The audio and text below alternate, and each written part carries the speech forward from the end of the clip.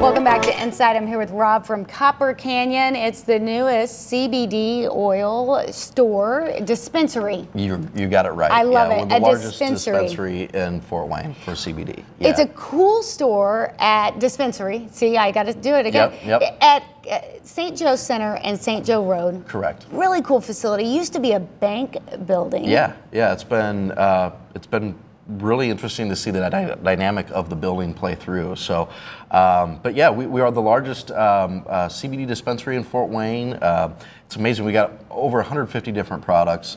Uh, it's uh, it's i- incredible to see the range of products. Well, I want to know about the range of products because I mean, I thought CBD oil just came Yeah. like with a dropper or CBD oil that you yeah, put yeah. under your tongue. And most people do when you're uh, affiliated with the oil product. But there's uh, you can take it in a gel cap.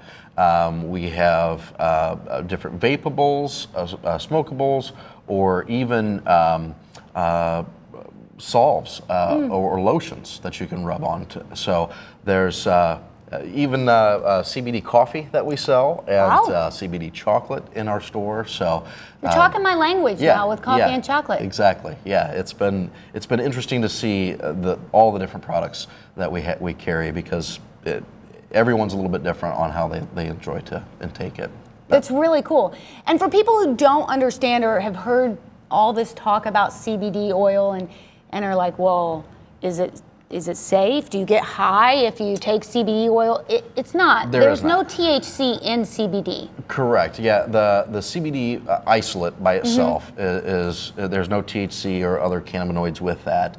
Um, but uh, yeah, you, there's no body high, there's no head high, there's there's no uh, uh, there's nothing like that. It's more of a, a general calmness and and and more of a, a relief feeling. And obviously, anybody who has any questions ought to ask their doctor. Yes. Yep. eh, Nobody's saying it's going to solve all the world's problem, but Right. a lot of people are saying it's helping with chronic pain. Yes. Yep. Yeah. You can always consult your doctor, but uh, we've had a lot of customers that came through and uh, expressed the, the the the overall relief from not only pain but um, anxiety and uh, a lot of things that come al- come along with with normal everyday life. So it's been great.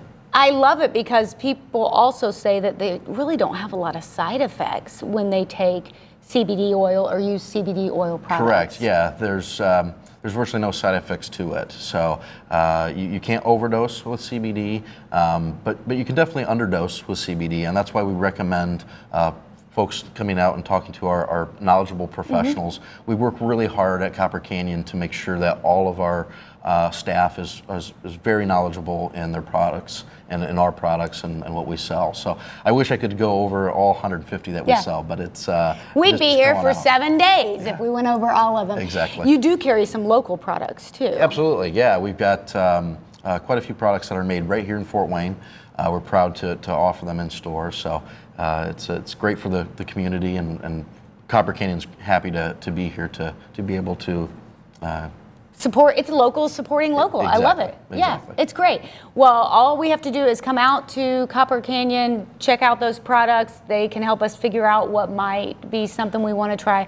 I have got to try Absolutely. the CBD chocolate. Yeah. That's that is now I wanted to say on my bucket list. That kind of makes me sad, doesn't it? I, it's, it's it's pretty good. Mm. That's It's all right. good. I'm going to try the CBD chocolate. Check out Copper Canyon. It's at the corner of St. Joe Center and St. Joe Road. We'll be right back on it.